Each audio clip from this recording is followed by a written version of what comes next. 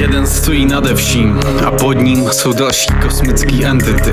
Abstraktní koncepty, Lady Infinity, Lord Eternity, mocný galaktik, chaos a řád Smrt a čas a tak dál a tak dál ale nad nima se pohybuje živoucí tribunál. Pravá ruka Boha, toho, co je nade všema. Živoucí tribunál je síla prastará z toho počátku všeho míra. Jeho ruka zákona je nestraná, hlídá vesmírný řád a pravidla a trestá toho, kdo používá zásahy proti fundamentálním mantinelům toho, co je realita. Boží svatá síla je celý ze zlata a nikdo neví, jak přesně vypadá, protože vzhled je fyzikální rovina.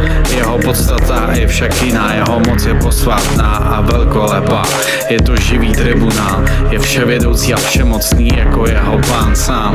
Tenhle titán dokáže téměř vše, co se dokázat dá. Vytvořit cokoliv z ničeho od A do Z. Jeho náhrdelník je plný rodících se hvězd, jeho oči jsou plný letících komet. Hlídá, aby nikdo neporušil řád reality, že nikdo nezneužije magii pro zničení této aktuality. Trestá všechny zapovězené aktivity. Pokud někdo poruší kodex, není zbytí. Živoucí tribunál zasáhne, zlikviduje škůdce, odstraní zrádce. Je to činná síla pod přímým velením Boha. Nikdo nezná jeho jméno nebo jména, proto se mu říká živoucí tribunál.